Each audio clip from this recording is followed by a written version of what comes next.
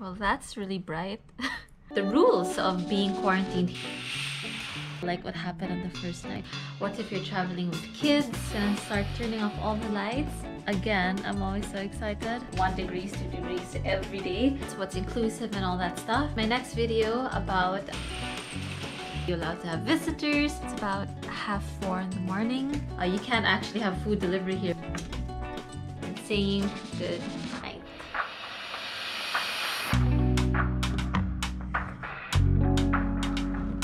I don't know where the time has gone. I can't believe it's 11 or half, almost half past 11 in the evening. So technically, if you round that off, it's midnight. I haven't even made my tea yet. My mug's empty.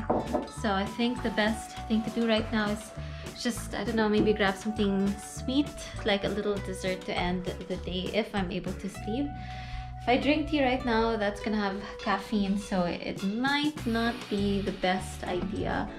This was given to me actually in the airplane, so I might try these organic berries. I actually love them, I've had them before.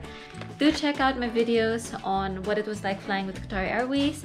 The customer service there is always excellent. I, I had so much food there. Uh, they have this feature called Dine on Demand.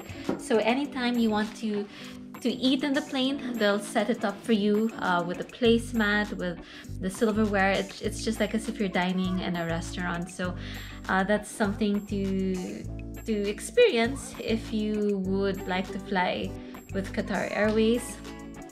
Um, was it last year at the start of the pandemic? We were actually able to get a lot of good rates, a lot of discounts. And if you're lucky, you'll be able actually I'm thinking about discounts, but it's very unfair because the Qatar Airways uh, types of plane that fly from Manila are not as good as the ones that fly from Thailand or other Asian countries. So, however, when I flew Doha to the UK, it was so so good. I guess it just depends. Um, actually, this trip from Doha to Manila, my plane was so ancient.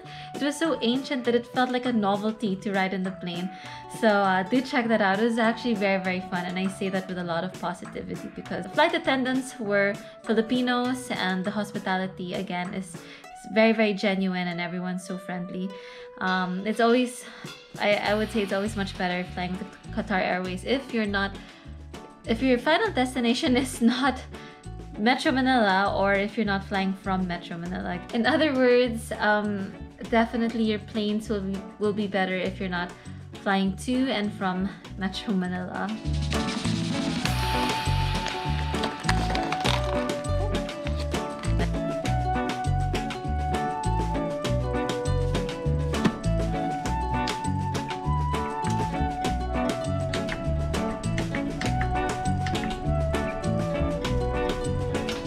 I've been feeling really cold for some reason. And to think that uh, I flew in from Scotland and it was so cold in Scotland, like one degrees, two degrees every day. I don't know why I'm feeling really cold. Maybe it's just the, the colds followed me here. And also, since I got back in Metro Manila, it hasn't been really sunny just yet. Um, it's 12, oh, it's half past 12 right now. I'm gonna prepare for bed, brush my teeth, and then um, hopefully tomorrow is gonna be a sunny day. I'm looking forward to well spending my my third day here. Today's my second day. Um, yeah, so it's either I check out on the fifth day or on the sixth day. I'll be, be getting my PCR test on the fifth day. If I'm lucky and fingers crossed, my results come out really, really early and soon, I can also check out on that same day.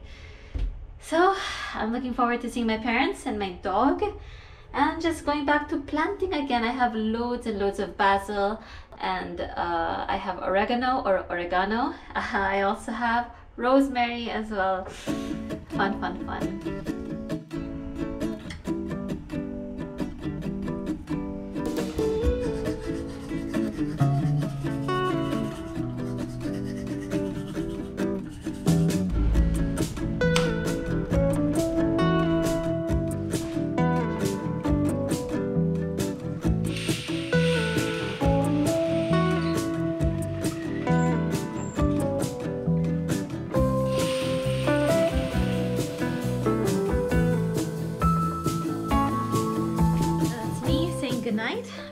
start turning off all the lights.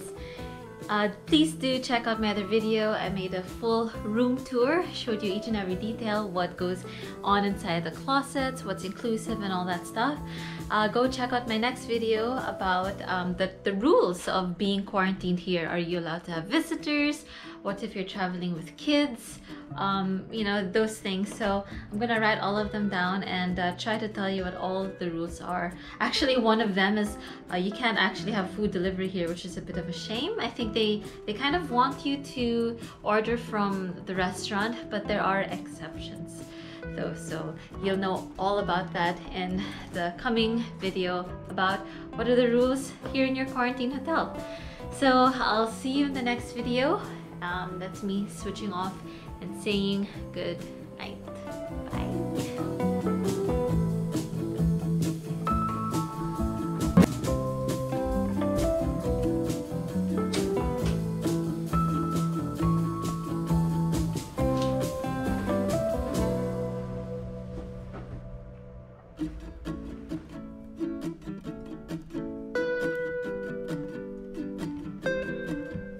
that's really bright. um, it's about half four in the morning. Jet lag again. Um, it's very, very early and I can hear some people next door watching TV. I'm forgetting I'm back in the Philippines where a lot, a lot of people wake up very early, my parents included and um, I've only had about I would say three or four hours, mm, no maybe three and a half hours of sleep. So I'm slowly getting there. I think it's better than not being able to sleep at all like what happened on the first night when I checked in here at 11 p.m. I literally slept the following day at 12 noon and got two hours of sleep. And yeah I just think you know going to bed at 1 a.m and waking up at half four in the morning is you know it's a little it's a slow progress but as long as i stay up the whole day today and hopefully get to sleep by midnight and wake up a little later maybe five we're getting there we're getting there. So i'm just gonna lay in bed a little bit longer. And then again i'm always so excited. There is our favorite balcony we're gonna open that and wake up to a beautiful sunrise. It's day three of my quarantine. I've got two more days if I'm lucky. So I check out on the fifth day if my PCR test results come out on that day. If not, it's off to the sixth day. So just chill out a bit more and then I am actually starting to get hungry.